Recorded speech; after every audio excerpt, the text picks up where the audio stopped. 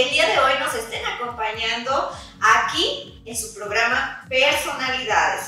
El día de hoy, pues obviamente tenemos una personalidad muy interesante de aquí de nuestro estado de Michoacán. Pero antes de presentarla, me gustaría invitarles que nos den like a todas nuestras páginas. Ahí estamos en Red 113, en Este Michoacán, en Contramuro, en Canal 6. Por favor, amigos, sigan, sigan todas nuestras redes sociales.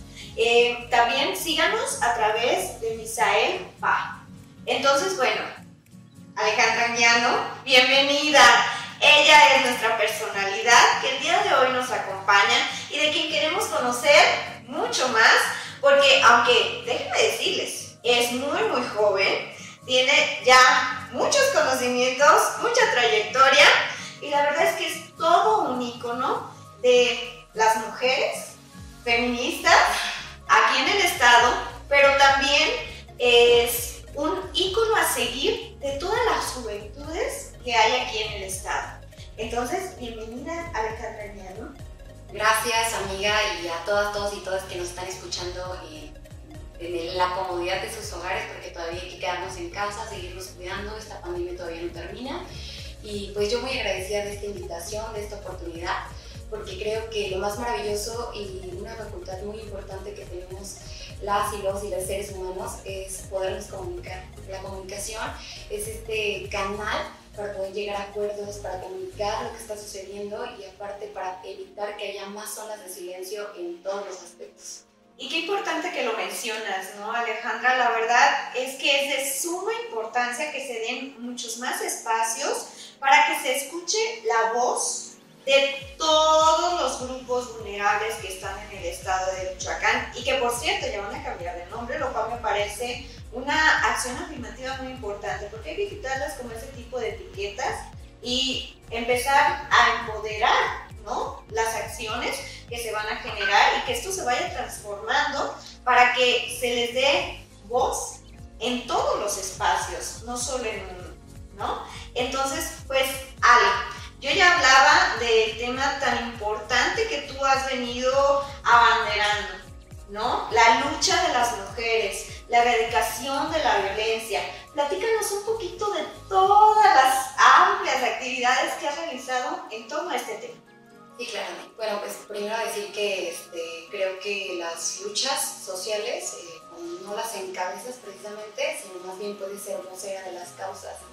Eh, creo que todas, todos y todas somos voceros o voceras de lo que estamos haciendo y de lo que estamos luchando. Y obviamente también creo que lo que no se menciona no existe, por ende hay que darle esta voz, esta visibilidad a todas las causas y luchas sociales, porque no se pide permiso para luchar, ¿no? Vas y luchas y vas y lo logras y vas y das guerra donde tengas que dar para conseguir la revolución. Pues nosotras, este, a mí me gusta hablar desde la colectividad porque Alejandra ya no es Alejandra sola, es Alejandra con todas sus compañeras y sus compañeras con Alejandra y pues cada una de, mis compañeras y todas las compañeras son, cada, son un pilar fundamental en mi vida. Creo que yo no he estado nunca sola, sino he estado siempre acompañada y por eso me debo muchísimo a un gran equipo de trabajo que sabe que esta causa es más grande que una persona. Esta causa no tiene solo un nombre, sino miles de nombres, ¿no? Eh, de las personas que están, de las que no están y de las que quizá hoy no en la casa. Porque esta lucha eh, no solamente es por las mujeres, es por los derechos humanos de todas, todos y todas, y es muy importante hablar de la colectividad, porque gracias a la colectividad existe esta creación de una ciudadanía, de, de poder luchar por una vida digna, por una vida libre eh, de, todas, de cualquier tipo de violencia pues nosotros nos hemos formado en el activismo eh, para la defensa de los derechos humanos de las mujeres, niñas y adolescentes. Y es muy importante para mí decirlo porque obviamente no nací siendo feminista ni nací teniendo perspectiva de género. Es algo que me ha costado a partir de considerarme también y de visibilizar y de entender que en algún momento fui víctima de algún tipo de, de delito sin saberlo, ¿no? Y de esta necesidad de entender que a veces necesitamos acompañamiento para ir a denunciar a instancias, a instancias que nos deben de dar acceso a la justicia y que a veces estos delitos que, que nos ocurren ni siquiera tienen nombre. Sabes qué pasa, sabes que es violencia, pero no están reconocidos eh, socialmente o lo que le puede dar justicia al Estado porque no tienen nombre los delitos. Sabes que es algo malo, pero no es castigado ni perseguido porque está invisibilizado, porque no está escrito en un papel. Y aunque muchas veces, eh, aunque esté escrito en un papel, no hay acceso a la justicia. Entonces es una lucha de reconocer que existe la violencia, que se nombre la violencia y luego que haya acceso a la justicia para las víctimas y las víctimas directas e indirectas de esta violencia. Entonces nos hemos formado a partir de entender que nos debemos apropiar de los espacios públicos. Siempre se ha creído que históricamente las mujeres solamente pueden participar en los espacios privados, ¿no? en la maternidad, en la familia, en los núcleos privados. Pero ¿qué pasa cuando las mujeres salen a un entorno público? También en los entornos privados hay violencia, pero también cuando salen a los entornos públicos te encuentras con que también hay violencia. Entonces, ¿qué dices? Bueno, pues tengo que estar acá, voy a sufrir violencia y acá también, ¿no? Entonces, ¿qué quieres ir cambiando? La manera en que esa violencia es callada y silenciada por muchas personas. Entendemos que obviamente si hay encubrimientos por todo este tipo de condiciones y de facultades que ejercen el poder y la violencia en contra de las mujeres y adolescentes y que obviamente dependiendo también de las condiciones estructurales que viven las mujeres es, es diferente la violencia.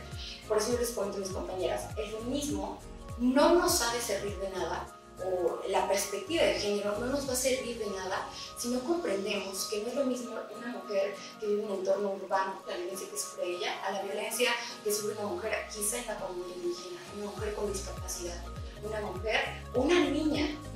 Son totalmente distintas las condiciones estructurales que oprimen y violentan a las mujeres en Michoacán, en México y en el mundo entero. Todas tenemos eh, la condición de, por nuestro género, pero también hay otras condiciones que nos hacen vivir distintas violencias.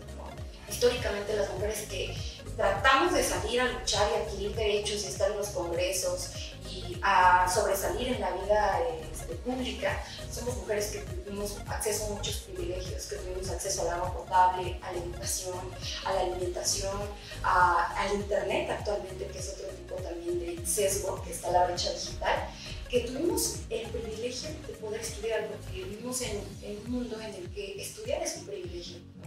Y estas mujeres que estamos teniendo privilegios, los debemos utilizar para hacer el bien para todas, para poder abrir la puerta a las nuevas generaciones que vienen llegando y quizá para ellas ya no sea tan difícil como lo es para nosotros. Y hablando de temas digitales, pues en el colectivo al cual perteneces, pues precisamente te vimos también impulsando el tema de hacer una acción afirmativa en torno a la situación de violencia digital. Háblanos un poquito de esa situación que, que impulsaron.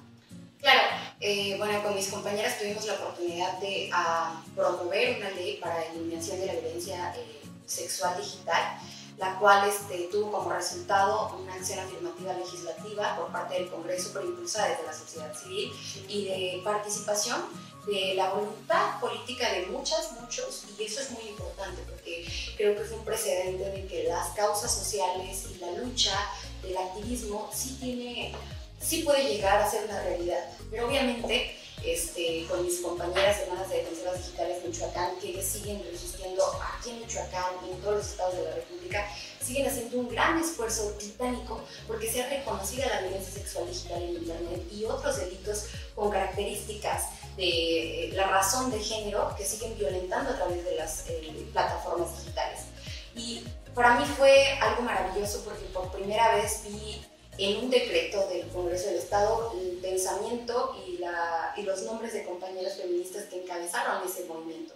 Cada una de ellas maravillosas y con una gran trayectoria. Y la verdad no tengo, día, no tengo ninguna duda que todas y cada una de ellas el día de mañana en tres años, van a estar tomando las decisiones del rumbo del Estado, porque ellas ya tomaron las decisiones del rumbo del Estado en ciertos momentos y todos los días se levantan cada una de ellas en donde quiera que estén diciendo hoy cómo voy a resistir, hoy cómo voy a armar la revolución. El poder compartir con mis compañeras, con Limpia, con Jimena, con Marifer, con eh, Shamadi, Brenda, eh, Ari, con todas las compañeras que estuvieron ahí este, resistiendo, Paulina, y bueno, o sea, son como eh, muchísimas compañeras y si no las menciono ahorita es porque si no me llevaría la hora, ¿no? Porque cada una es tan importante, tan maravillosa que hay que reconocer lo que es gracias a ellas. Entonces, no lo impulsé yo, lo impulsamos todas, fuimos todas y es gracias a todas ellas y al buen acercamiento que tuvimos en un momento con el Congreso del Estado y pues con diferentes entes en ese momento que tomaban las decisiones. Pero, pero a pesar de que esto sucedió y que está sucediendo en el país, aún la insuficiencia del acceso a la justicia es totalmente complicada. Eh, yo creo que el reto de, no del activismo, porque no es responsabilidad de las feministas, no es dónde estaban las feministas cuando no, más bien el reto de las personas, eh, las autoridades que están encargadas de dar acceso a la justicia, su reto es que haya acceso a la justicia. Ese es el reto de la justicia, que sea una justicia restaurativa, con perspectiva de género, con perspectiva victimal, que sea una justicia que realmente si no repara el daño al 100%, que sí le haga justicia y que sea restaurativa.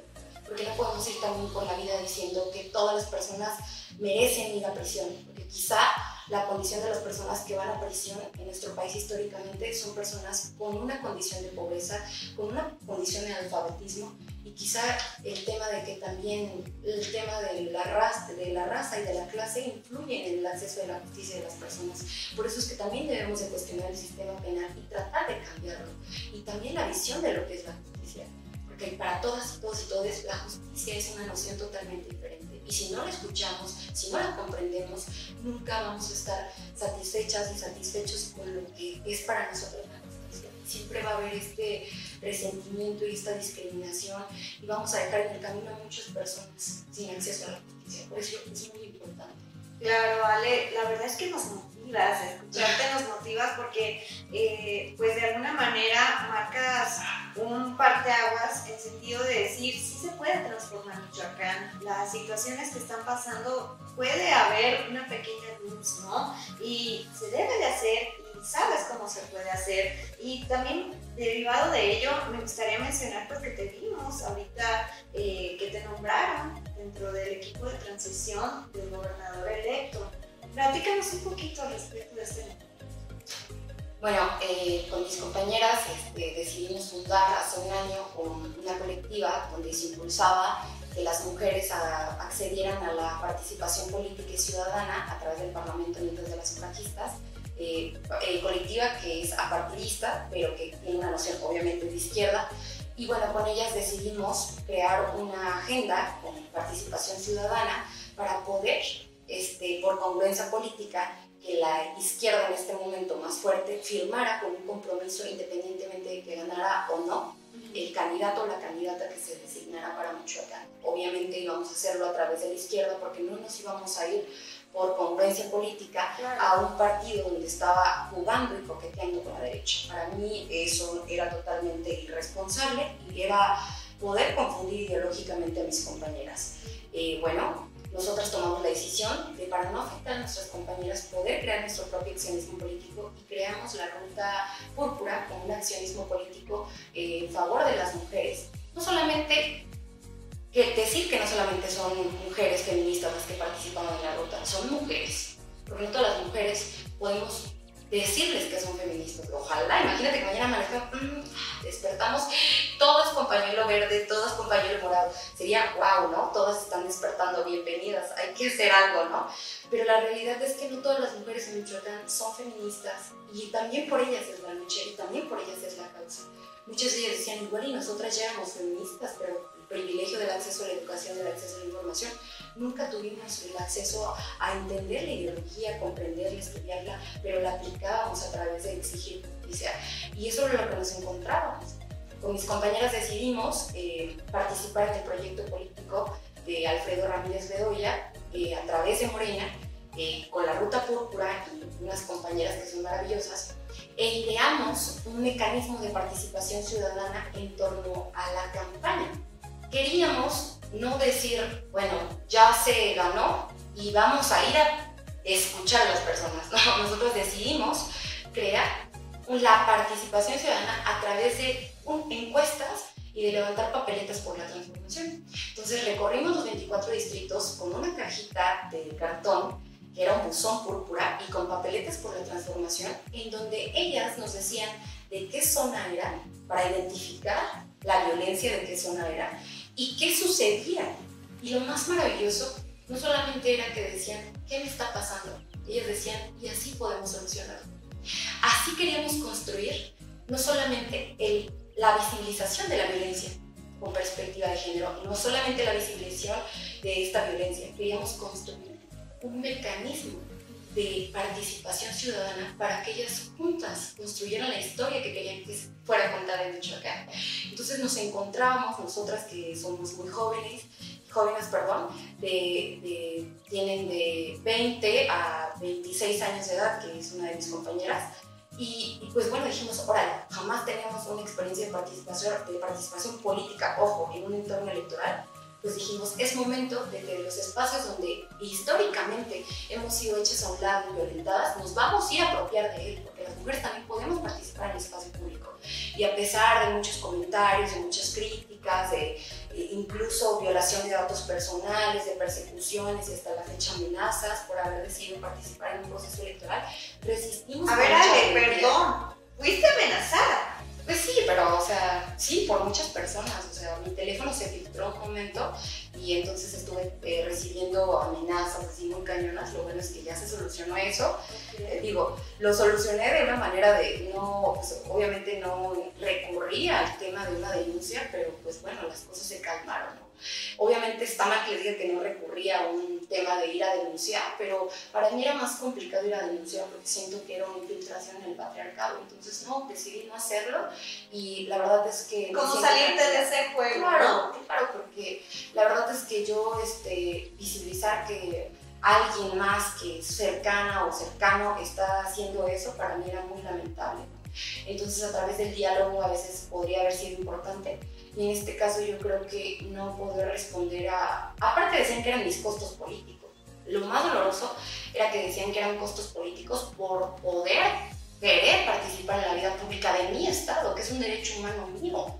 Y como mujer tengo la, como mujer y como ciudadana tengo la obligación también de participar en los procesos electorales y, y pues más que una obligación, es tu deber decir, bueno, yo quiero cambiarlo y formar parte de los derechos. Claro. Entonces, bueno, yo solamente creo que para mí el poder formar parte de esto es muy importante, muy enriquecedor, porque yo siempre decía, es que las, las, mujeres debemos ir a hacerlo así, así, así, así. Y luego cuando salí al territorio y conocí la realidad de Michoacán y de las mujeres de Michoacán, que no están en la localidad, dije, ¿qué hago yo hablando desde mis privilegios?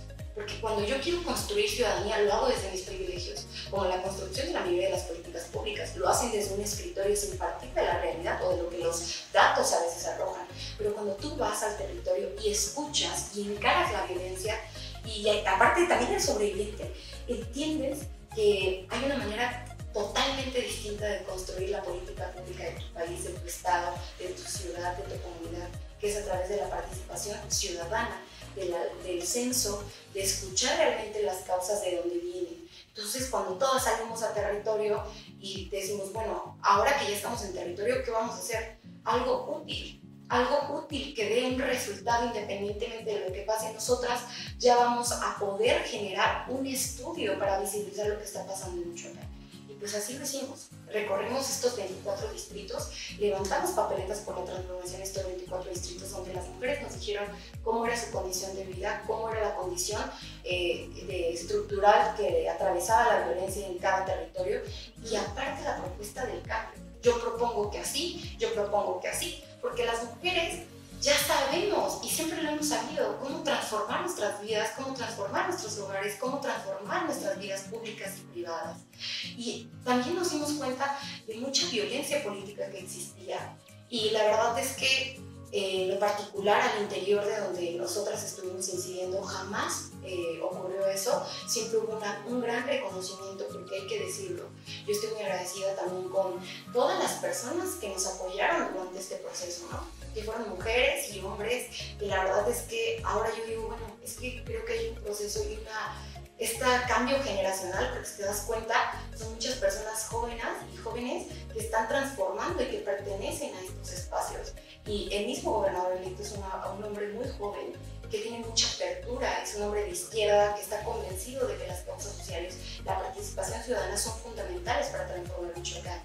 Entonces, cuando vemos que él va a ser el que va a ser perfilado para la gobernación de Michoacán, dijimos, no nos cuesta trabajo, porque es un hombre que en su actuar como diputado hizo muchas cosas para legislar a favor de las mujeres y cómo decir no a un proyecto político que pone como primer causa que las mujeres no van a ser vulneradas y que va a estar en su agenda, que es más, la agenda de los 24 distritos, la agenda púrpura es su agenda, o sea, la hizo suya y de parte para, para lo que sigue para la construcción de ese gobierno. Y dijimos, bueno, entonces este privilegio que tuvimos de poder participar se está utilizando para el bien. Y por eso les decía a mis compañeras, a ver, escuchen, ¿estamos haciendo algo malo? No, ¿Queremos hacer algo bueno? Sí. Entonces, ¿por qué nos vamos a sentir mal? Si estamos luchando, si estamos resistiendo, si a todas las personas históricas de, nuestro país y de la historia eh, siempre los tacharon en su época como personas locas, como personas que los radicales, las radicales, los radicales. Y bueno, después la historia les dio la razón. Yo creo que de ahí parte. Por eso les digo, juntas estamos escribiendo la historia que queremos para Michoacán y juntas lo vamos a transformar.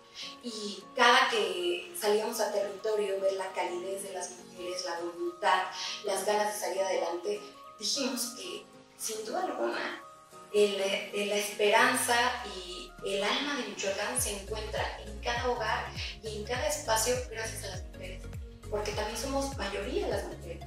Entonces, ¿por qué Michoacán no se parece más a las mujeres? Porque no hay calles adecuadas para las mujeres ¿Por qué no hay escuelas pensadas las mujeres? Ni baños pensadas para las mujeres. Y ya conocemos las condiciones de desigualdad que atraviesan por todo Michoacán. Ya las ubicamos. Pues ahora hay que combatirlas. Tenemos la responsabilidad y el compromiso del gobernador electo y de todas las personas que van a encabezar el gobierno, no tengo duda, que vamos a transformar la vida de las mujeres en Michoacán. Entonces, esta invitación al equipo de transición dijimos, ok, órale va, porque aparte soy la mujer, soy una mujer y la más joven, tengo 25 años de edad, que se me haya tomado en cuenta por el trabajo, porque no fue porque llevaba 50 mil años en un partido político o porque llevaba eh, mil años haciendo esto, no, es porque trabajé, porque visibilicé y porque tengo ganas de seguir trabajando. Yo creo que el hecho del mensaje político de que una mujer tan joven esté en un equipo de transición nos habla de la oportunidad que va a haber para todas las mujeres, y no solamente para las mujeres jóvenes, ni jóvenes, sino para todas las mujeres que luchan. Así que nos vamos a encontrar, no tengan duda. Pues ya lo escucharon, amigos y amigas. Qué gusto, Ale, de verdad. Eh, nos motivas, te reitero, porque eso es lo que queremos ver, ¿no? Eh, personas que tengan ganas de trabajar y que además de que tengan ganas, estén cercanos a la ciudadanía, porque la verdad es que toda esta cuestión que ustedes implementaron de la ruta púrpura, pues les permitió precisamente eso, ¿no? Tener una mayor cercanía con todas las mujeres en el Estado, escuchar las necesidades y como tú bien lo dices, también escuchar las soluciones, porque ¿quién mejor que sepa cuáles son las soluciones que las personas que están viviendo todas aquellas situaciones de injusticia social, ¿no? Entonces, qué importante eh, pues que estés trabajando en, este equipo y pues queremos verte creciendo mucho más porque nos enorgulleces mucho, Alejandra Llano. Y pues, ¿qué decirte? Agradecerte por tu tiempo y te queremos ver ahí liderando muchas otras causas porque sabemos que tienes mucho interés en la defensa de los derechos humanos. Nos da mucho gusto verte. Muchas gracias, este, Nereida, y este, a todo el equipo que nos invitó a participar en este canal de comunicación. Eh, reiteramos que la comunicación es la forma más bella de poder llegar a poder consolidar una idea o transmitir lo que queremos pensar y decir, y es muy importante. Felicito todo tu trabajo porque no coincidimos de ahorita coincidimos de años atrás, en donde andábamos dando guerra juntas, buscando cómo nos firmaran, buscando cómo se comprometieran. Yo tengo que reconocer en ti una mujer que lucha y que se hace valer por sí misma y hace valer a todas las compañeras y compañeros que te acompañan. Y eso habla de tu sentido humano. Y, y de verdad, muchas gracias por este espacio. Tú sabes que yo estoy para poder construir, para poder consolidar, para poder intervenir y darle voz a todo lo bueno y que lleve a una causa que nos haga permitir engrandecer. Y pues yo estoy a la orden de cada una y cada uno de ustedes y pues reiterarles que esto apenas comienza y también es responsabilidad no solamente del gobierno, sino también de la ciudadanía a través de la participación porque la participación es la voz de cada uno y de cada uno de ustedes. No dejen que alguien decida por ustedes. Vayan y ustedes aprendan a decidir, aprendan a luchar en colectividad y no hay que rendirnos porque apenas vamos a pasar por este proceso de, esta cuarta transformación que es un proyecto a nivel nacional que nos va a ayudar mucho a enriquecer los procesos que siguen. Entonces yo los invito y las invito y les invito a que no se rindan y que hay que seguir ayudando a todas las personas que lo necesitan. Muchísimas gracias Alejandra Añano, qué gusto de verdad eh, escucharte el día de hoy y poder compartir estos momentos contigo. Amigos y amigas, muchas gracias a ustedes también porque nos están acompañando eh, pues desde sus casas. Les reitero que sigan todas nuestras redes y agradecer de manera especial a nuestros amigos de Red 113 porque siempre nos están apoyando en estas transmisiones. Muchas gracias y Síganos en la siguiente entrevista, de favor. Hasta luego.